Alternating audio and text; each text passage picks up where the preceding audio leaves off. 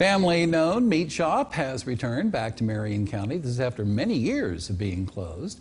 This morning, uh, Papa Joe's Famous Meats held its grand opening at 3349 Freedom Highway in Monongah. Three generations of family members are helping run the shop. There are a variety of fresh meats, other foods that you can purchase, including homemade sausage, pasta salad, even some sliders. We have roots going back to the early 1900s right here in town. Matter of fact, right down by Town Hall on Shaver Street is where my great great grandmother was, my great great Aunt Mary Roscoe, and then my great grandmother Mama Kay.